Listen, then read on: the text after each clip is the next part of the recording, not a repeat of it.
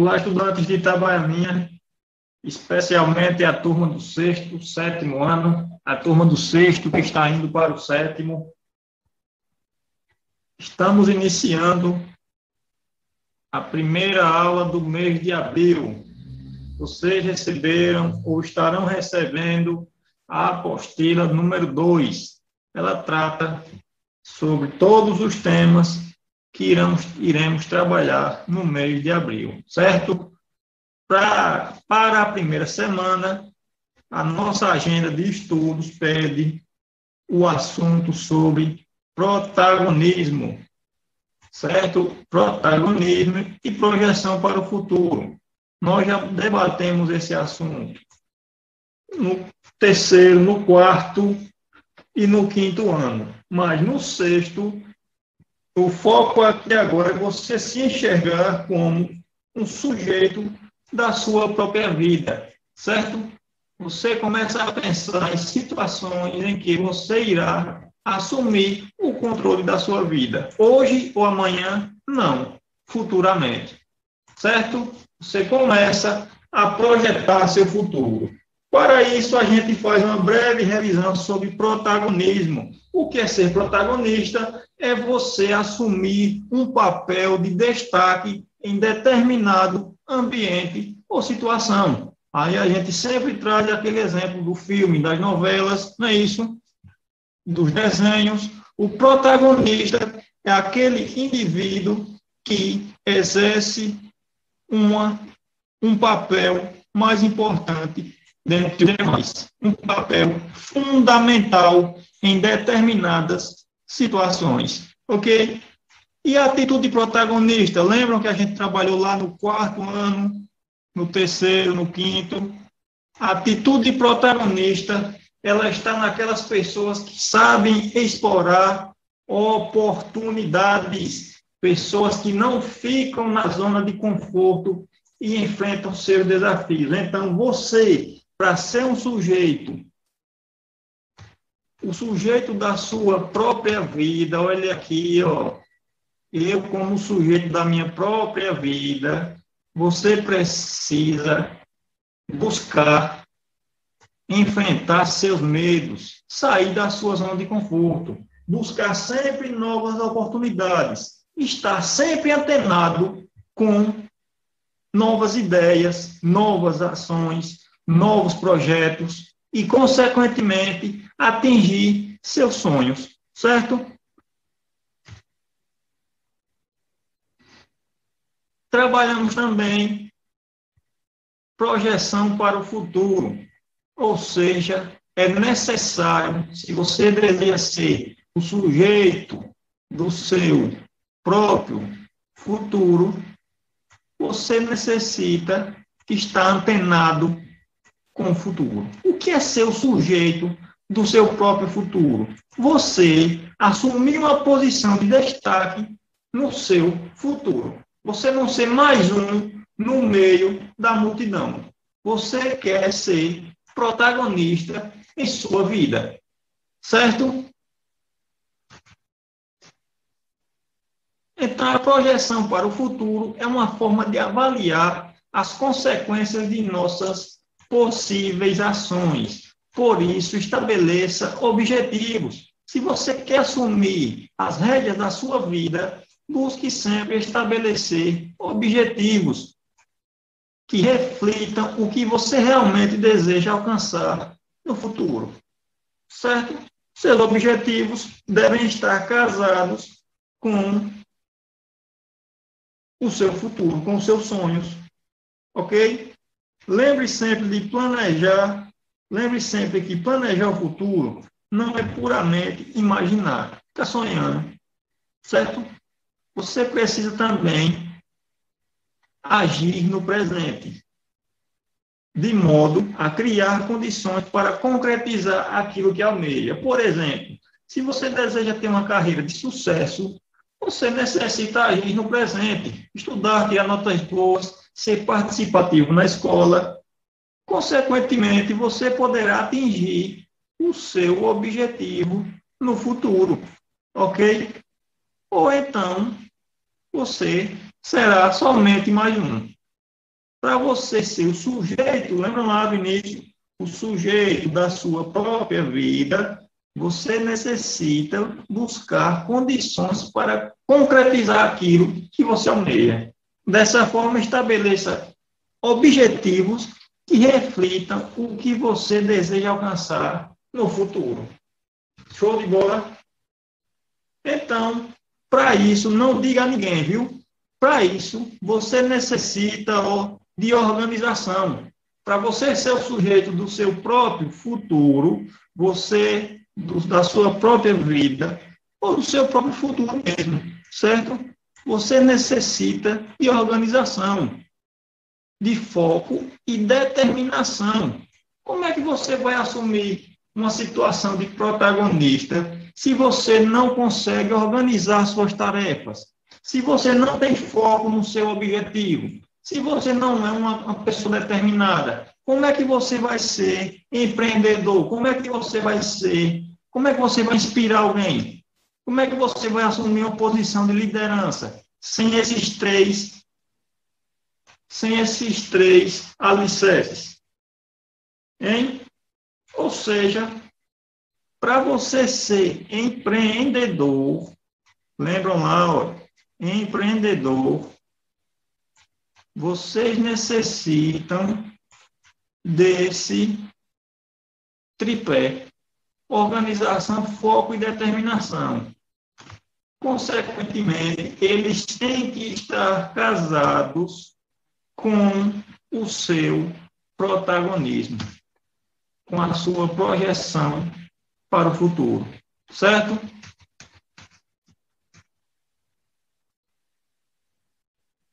Para você atingir o sucesso no seu projeto de vida, você necessita ter claro o que é um plano de ação Lembram lá que nós estudamos no terceiro, no quarto ano, ó, o que é um plano de ação? É uma forma organizada e que segue uma metodologia, ou seja, é você organizar a sua vida, organizar os seus trabalhos, as suas tarefas ou as suas atividades. Para isso, você, por exemplo, digamos que você seja um dono de um pequeno empreendimento você precisa organizar esse empreendimento. Caso contrário, você irá quebrar.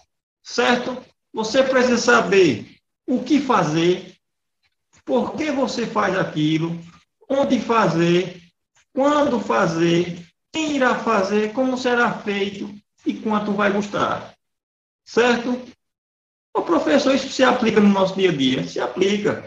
As contas do dia a dia da gente, olha a nossa organização diária. Nós não precisamos ter um plano de ação para executar determinadas situações. Então, você precisa saber o que você vai fazer durante determinado período. Por que você vai fazer aquilo? E onde você vai fazer? Você precisa de um local para fazer determinado, determinada ação. Quando você vai fazer? Quem irá fazer? Você necessita de ajuda? Como será feito? Você necessita organizar como irá dar início e como irá desenvolver determinada atividade. E quanto ela vai custar. Como você irá financiar essa atividade. Certo? Você pode pensar isso de início no seu ambiente escolar, organizando suas tarefas. Por exemplo, a compra, a compra do seu material escolar necessita de um plano de ação você tem um objetivo quando você vai comprar o seu material escolar. Então, você necessita definir um plano de ação para desenvolver essa atividade. E, consequentemente, no decorrer da sua vida, isso daqui vai se complicando cada vez mais. Você irá precisar cada vez mais de um plano de ação mais bem elaborado. Certo?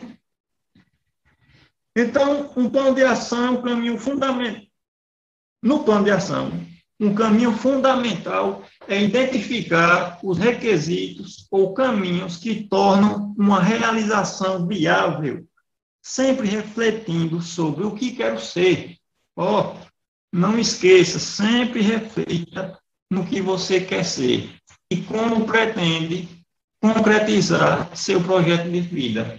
Então, você necessita definir claramente seis aspectos: seus objetivos, o que você sonha, o que você almeja, onde você quer chegar e tornar essas metas possíveis de serem realizadas. Você não pode sonhar com uma coisa que é impossível, ou então você vai perder tempo.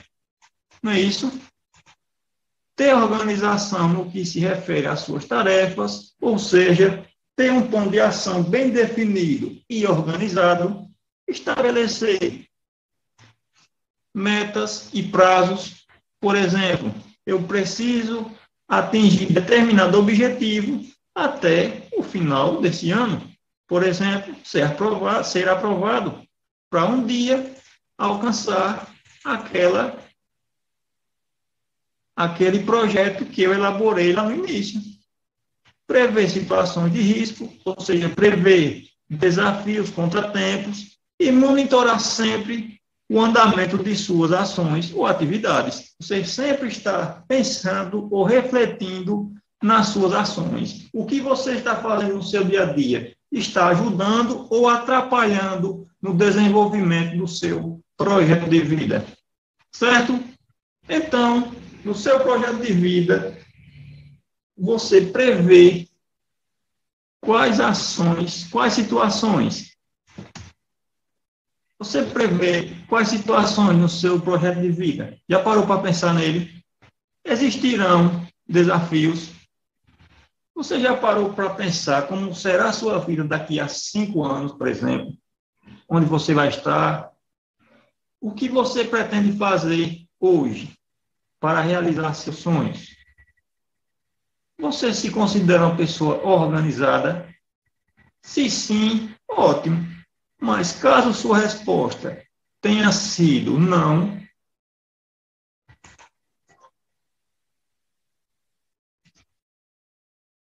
caso sua resposta tenha sido não,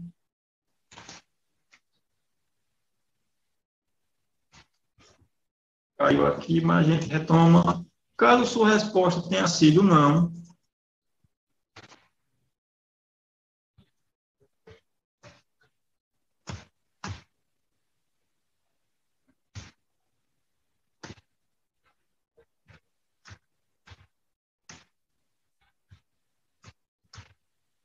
Caso sua resposta tenha sido não, comece a refletir sobre essa situação e pense cada vez mais no seu futuro e quais caminhos e ações você pretende adotar para concretizar seu projeto de vida e ser o sujeito da sua própria vida. Ou seja, você precisa ter claro o seu projeto de vida, seu plano de ação, seus objetivos. E assim você irá conseguir desenvolver melhor o seu caminho, o seu trajeto. Ok? Consequentemente, você irá conseguir definir quais caminhos e ações você pretende adotar para concretizar seus objetivos. Certo? Para reforçar o conteúdo de hoje, nós iremos lá na nossa apostila, página 1, onde tem lá a apostila do sexto ano, sexto, sétimo ano, não é isso? Pronto. Aplicação abriu. Ou seja, essa é a apostila que nós iremos trabalhar no mês de abril. Esse primeiro conteúdo ele está sendo comum para as turmas do quarto, do terceiro e do sexto ano, certo? A partir da segunda semana, a gente já começa a diferenciar ele um pouco. Então, aqui uma, uma retomada do que a gente trabalhou hoje. O nosso tema central é eu como sujeito da minha própria vida, né, esse protagonismo e projeção para o futuro, nós falamos sobre o que era cada um, falamos um pouco sobre o projeto de vida, falamos da importância de ter organização e foco e determinação, falamos sobre plano de ação, falamos sobre o que você quer ser, né, isso como você pretende concretizar seu projeto de vida, E a importância desses seis, desses seis, e definir claramente esses seis aspectos no seu plano de ação, certo? E então, da nossa atividade, eu convido vocês a conhecer melhor o seu perfil. Se você quer ser o sujeito da sua própria vida, é necessário você definir o seu perfil, participando dessa atividade número um, certo? Mas para atingir um resultado satisfatório, nós necessitamos de foco nessa atividade, certo? Qual é o nome dessa atividade? Testando qual minha atitude, certo? Vamos, vamos nos conhecer um pouco melhor. Vamos lá, atividade 1. Um, qual é a minha atitude? Nessa atividade está aí na apostila. Quem não recebeu, procure, entre em contato com o professor, com a coordenação da escola, para tentar trabalhar de maneira simétrica com a gente. Questão 1. Você tem o hábito de se perguntar onde pretende chegar, quais são as etapas que deve percorrer e como deverá agir para alcançar seus propósitos? Oh, essa pergunta aqui tem a ver com o que? Com a nossa aula de hoje, olha. Protagonismo e projeção para o futuro. Eu, como sujeito da minha própria vida, você tem costume de se perguntar quais são as etapas que deve percorrer e como deverá agir para atingir seus propósitos? Para responder essa pergunta, pense em situações reais que enfrentam na escola e na vida como um todo. Pensou aí? Pronto. Aí agora vamos para a letra A. Sim, eu penso sempre em objetivo e procuro planejar minha vida em função deles. E aí, você essa daqui se encaixou no que você pensou? Vamos para B. Às vezes eu tenho muitos sonhos e fico um pouco perdido para conseguir organizar minhas prioridades. Será que essa aqui respondeu? Não. Eu deixo minha vida me levar. Você vai escolher uma dessas três e vai marcar certo? Eu não vou marcar para não influenciar o pensamento de ninguém. Você escolhe uma e marca. Se não conseguiu entender, volta e lê novamente. Segunda, você confia em seu potencial, conhece suas habilidades, os seus limites e acredita em si mesmo. Letra A, eu não costumo pensar muito nisso, pois acho que não tenho muitas qualidades. Se essa, se essa letra responde a questão sobre você, você marca ela. Não, não responde, essa aqui não tem a ver comigo, não, professor. Vamos para a próxima. Apesar de ouvir muitas vezes que não tem futuro, nunca deixei de acreditar em mim. Se essa questão responde essa pergunta aqui sobre você, você irá marcar ela. Ou então vamos para C. Eu acredito em mim, no meu potencial, estou sempre pronto para me superar a cada dia. Se essa aqui responde essa pergunta sobre você, você marca ela. Escolhe uma das três e marca. Certo? Na terceira, nós vamos para qual é o papel da escola e da educação na sua vida. E aí, qual é o papel da escola e da educação na sua vida?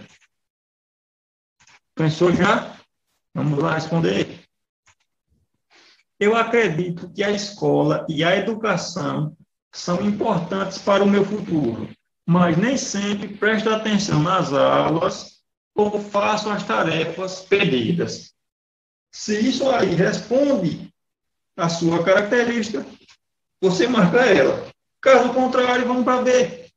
Eu valorizo a escola, me esforço para aprender, peço ajuda aos meus colegas e professores, pois sei que a educação é uma grande oportunidade em minha vida. Se essa, se essa resposta responde à pergunta sobre você, você marca ela. Letra C. Eu não vejo sentido na escola e não vejo a hora de me formar ou terminar o ensino fundamental. Certo? Se você vai para a escola e não vê a hora disso acabar, você vai lá e marca a letra C. Vamos para a quarta, são somente cinco. Quando um problema aparece em sua vida, qual é a sua atitude?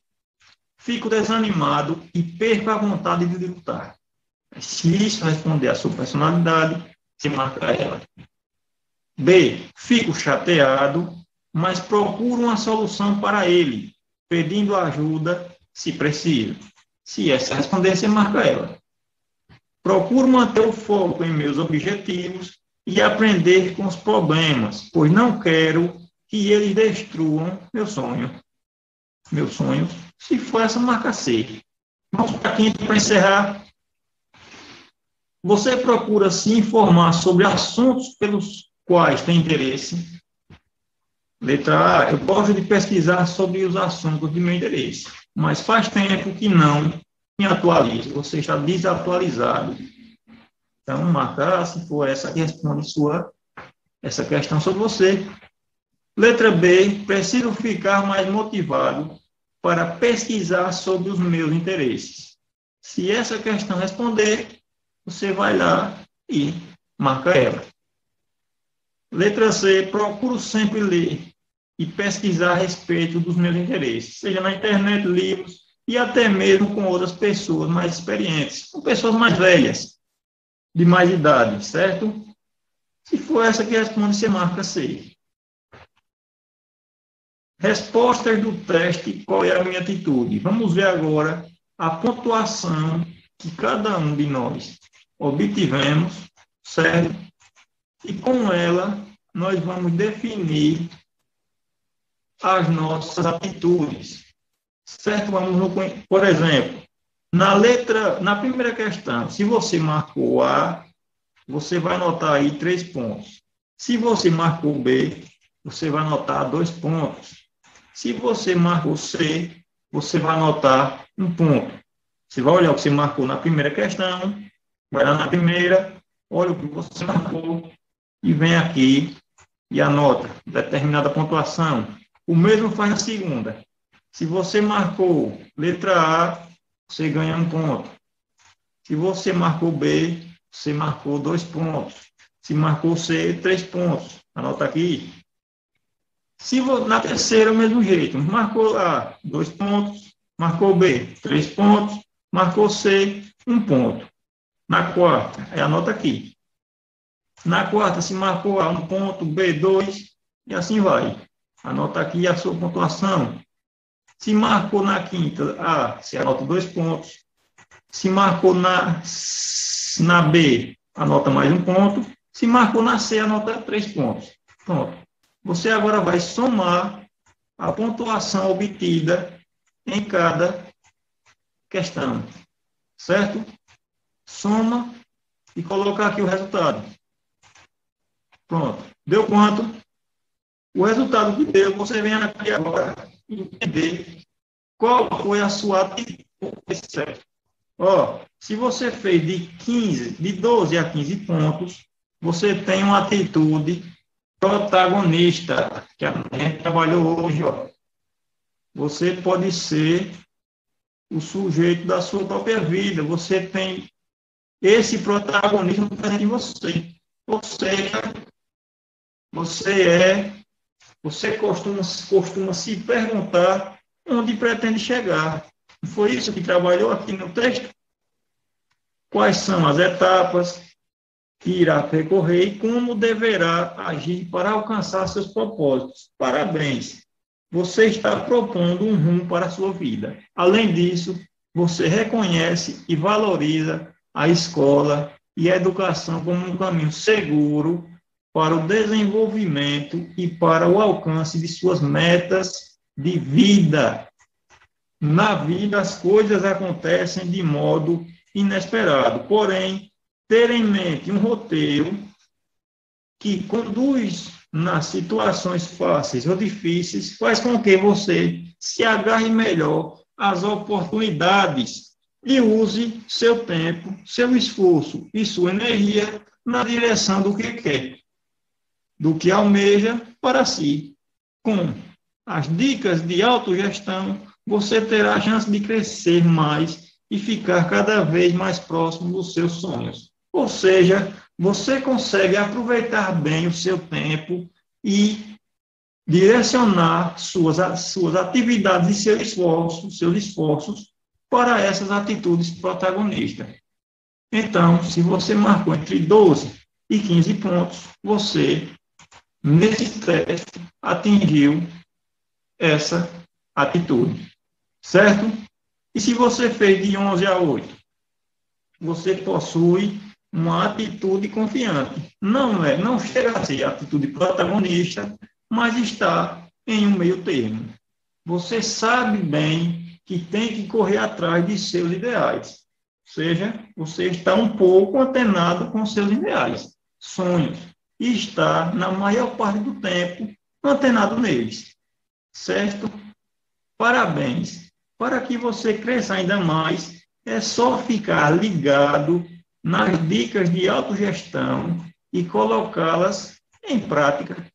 Junto com seus colegas, você aprenderá a planejar o seu dia a dia e traçar metas para ele. O que falta em você que atingiu essa pontuação aqui é organizar o seu dia a dia, certo?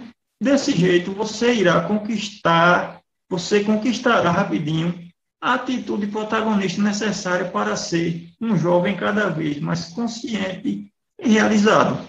Certo? Você está quase lá, chegando na atitude protagonista. Você precisa ficar focado nessa questão aqui da organização do seu tempo. E se você fez de sete a cinco pontos, o seu lema então será: deixa a vida me levar você pode estar certo de que, se continuar assim, terá poucas chances de vencer as situações inesperadas na vida. Você não está ainda cuidando dos seus sonhos, interesses e necessidades. Está jogando fora boas oportunidades, sua energia e seu potencial. Ainda há tempo de mudar. Aproveite as chances que a escola oferece e comece a pensar em sua vida com mais cuidado e foco. As atividades de autogestão vão ajudá-lo a fazer essa virada importante. Ou seja, se você fez entre 7 e 5 pontos, é necessário você rever suas atitudes e seus comportamentos, principalmente relacionados a essas atividades aqui. Ou, ou é o caso também de você rever suas atitudes no ambiente familiar e escolar e assim tentar voltar para o foco dessa atividade aqui, que é você desenvolver o seu lado protagonista, você começar a pensar no seu futuro, certo? Essa questão de autogestão aqui, nós iremos trabalhar no momento 2 da nossa apostila da primeira semana, certo? Então, próxima semana, iremos trabalhar o reforço sobre esse tema. Ok? Saudações e espero vocês na nossa próxima videoaula. Até lá!